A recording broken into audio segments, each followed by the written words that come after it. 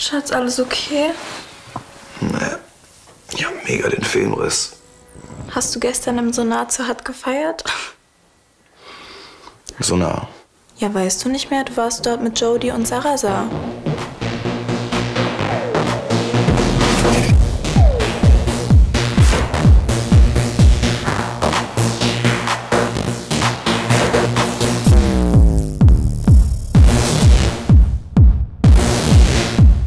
Jonas? Du lebst im Moment, oder nicht? Jonas! Jonas, was ist los bei dir? Keine Ahnung mehr.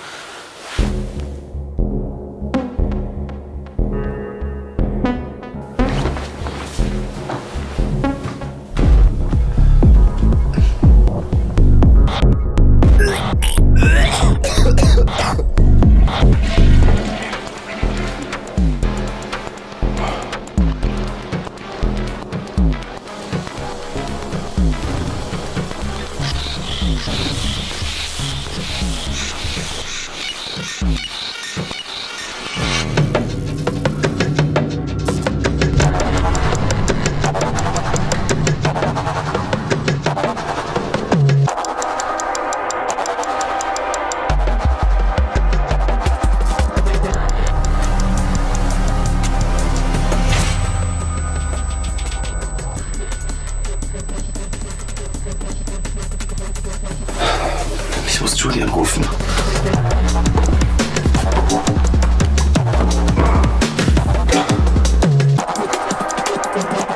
Schatz, weißt du, wo mein Handy ist?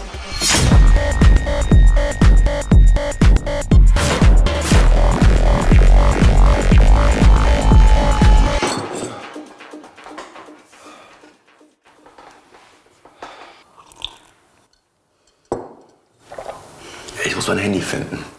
Muss Julie erreichen. Ich muss. Du machst jetzt erstmal gar nichts. Du musst erstmal wieder klarkommen.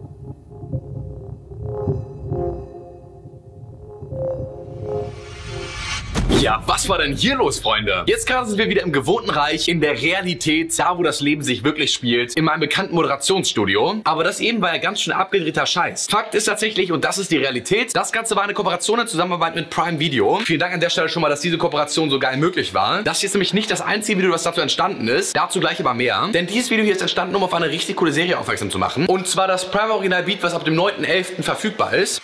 Ein Leben auf einem Lichtstrahl. Das bin ich. Beat. Du feierst deine Freiheit und hast keine Ahnung, was sie kostet.